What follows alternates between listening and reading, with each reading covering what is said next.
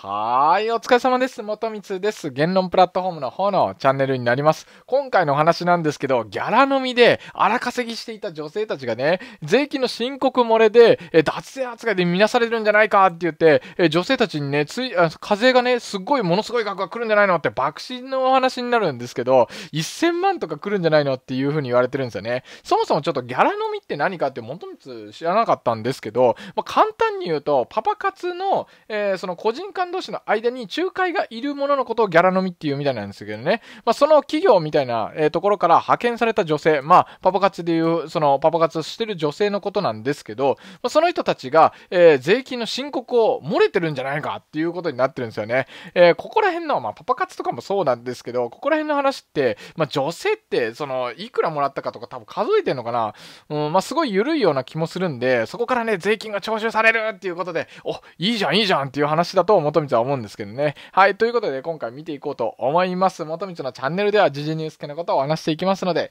いいねと思ったらぜひチャンネル登録もよろしくお願いします。ということでね、まあ、こっちは記事になってたんですよね。うん。で、どういう話かっていうと、一定の料金を支払って呼んだ女性らと一緒に飲食するギャラ飲みと呼ばれるマッチングサービスをめぐり、店に派遣される女性らに税金の申告漏れの疑いが相次いでいたことが関係者への取材で分かった。東京国税局は運営会社への税務調査の過程で、こうした状況を把握、収入を得ながらも納税についての知識がなく、申告しないケースが多発していると見られる。でもね、額はものすごい額が、えー、動いてるみたいで、これは、えー、税務局からしたらチャンスだみたいな感じでね、えー、多分行くんじゃないのかなと言われてるんですよね。同国税局が調査したのは、東京都内のマッチングサービスの運営会社、ホームページなどによると、利用者はサービスに登録しているキャストと呼ばれる女性らに集合場所などを指定して飲食し、キャストは運営会社を介して収入を得る。キャストは20代から30代の女性が中心で人気があると月1400万円以上も得ることを、えー、可能としてるとマジって。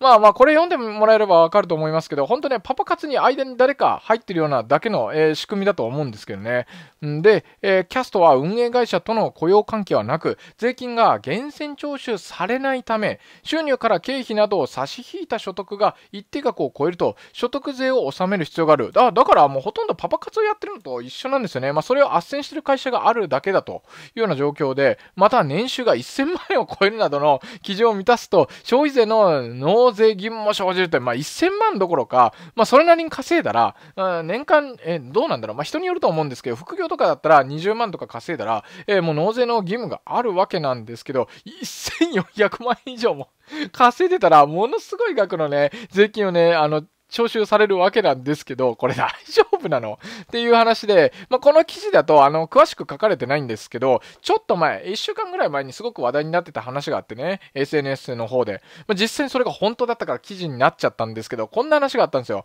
こんなツイートになるんですけどね、まあ、Z リーさんってそういう情報とかではかなり有名な話なんですけどね、あの、ツイッターの情報の話では。で、こんなツイートです。パトのギャラ飲みで、パトっていうのはね、多分その仲介の会社の、えー、名前だと思うんですけど、パトロンとかって意味なのかな？何なのかわかんないですけど、のギャラ飲みで荒稼ぎしていた女たち終わったな。国税にタンス貯金を取られた港区女子が貯金を取り戻すためにギャラ飲みからパパ活や AV にジョブチェンジする未来が見えるみたいな感じでね、おこれやばいんじゃないのって税金ね、納められないんじゃないのっていう話なんですけど、こんな垂れ込みがあったらしいんですよ。その ZD さんに対してね。1、2ヶ月前にギャラ飲みアプリのパトに国税が入ったんですが、その際にパトは女性の名簿を渡してしまったみたいですって。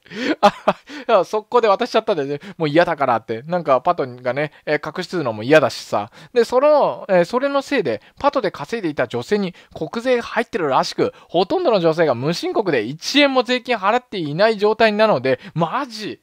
いや、1000万超える人もいるって言われてんのに、マジか。で、相当な金額の風が来てまして、港区女子が震えてます。そりゃ震えるよ。震える震える。あものすごい額のね、えー、風が来るんじゃないかっていうことで、やばい子だと1000万風が来るような子もいるみたいですと。まあもちろん1年程度だったら、えー、1400万円とかさっきの情報ではあったんですけど、もっともっとやばい人がいると。風だけで1000万のね、風ですよ。これはやばいというような話なんですよね。でちなみにパトっていうのはね、まあ、こんな、えー、マッチングサービスなんですけど、今回、元光がね、紹介した記事のものがこれとは、えー、100%断定はできないんですけど、これすごい話題になってたんで、そういう可能性は全然あり得るんですよね。で、まあ、ちょっと、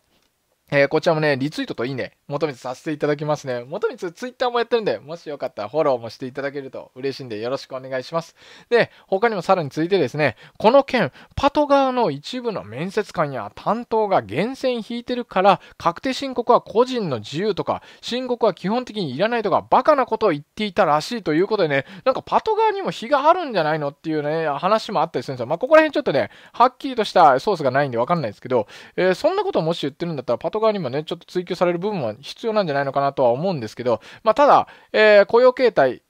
が、えー、ないんであれば、やっぱり本人たちが申告しないといけないのは明らかですよね。で、関税務署から、えー、電話が来てる子がメインで、国税が来たのは自分もギャラ飲みしつつ、女の斡旋もしていた子。個人事業主とみなされたのかな。録音もゲットということで、録音もゲットなんかね、あの、その、証拠もあるみたいなんですよね、ZD さん。すっげえな、マジで。それで結果、記事になってるんだと思うんですけど、今回の話だと、まあ、ギャラ飲みだとかになると思うんですけど、パパ活とかも一緒で、やっぱりお金の動きっていうのが、ちょっとね、曖昧というか分かりづらい部分があったりすると思うんですよね。なので、国税もなかなかメスが入れづらい状況だったんじゃないのかなと、個人的には思ってるんですけどね、もっと詳しい人、えー、そんなのすぐバレてんだよとかっていう声あったらね、教えてください。元々はね、あの、バレにくいんじゃないのかなと思ってたんですけど、今回ははっきりとね、まあ、そのパト、仲介会社も、あの、はっきりと、なんだろうね、名簿を渡したりだとか、かなりメスが入ってるみたいなんで、これ一掃されるんじゃないですかね、風。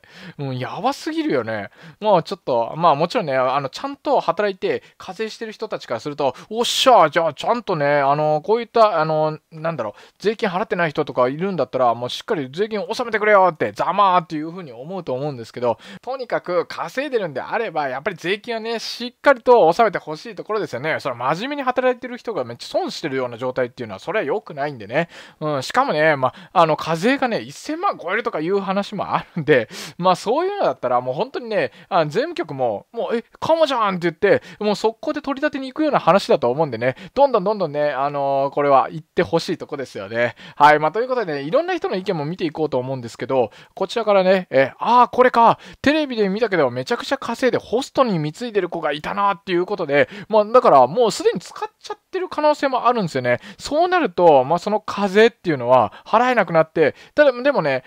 やっぱそれは常に残っていくんで、今後ね、あの払っていかないといけないという、本当爆死状態なんじゃないよっていうふうに言われてるんですよね。はい。とか、えー、メルカリに国税が入って出品者の名簿を提出した未来が見たいとか、まあここら辺ね、転売ヤーにもそういう鉄槌が下ってほしいという風な話とかもあるんですよね。うん。まあメルカリの、ちょっと話は脱線しちゃうんですけど、ぜひ税金さん、あ国税さん、あの、メルカリにも手を出してくれっていうふうにね、いう意見もあったりします。とか、えー、きちんと税金を納める国民からしたら、ラッキーやん、よかったよかったって、ほんとね、そうなんですよ。真面目な人から、えー、したらね、えー、こういうふうに思いますよね。まあ、なので、今回の、あの